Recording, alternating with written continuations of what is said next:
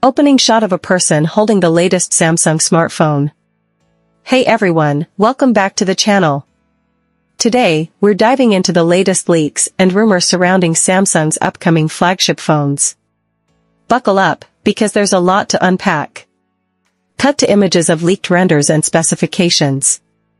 First up, we've got whispers about the Galaxy Z Fold 6 Ultra, yes, you heard that right.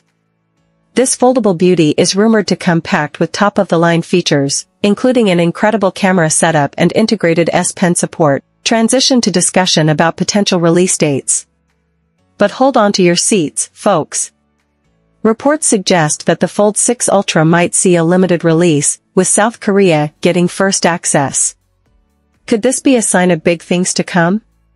Cut to the narrator holding up the smartphone.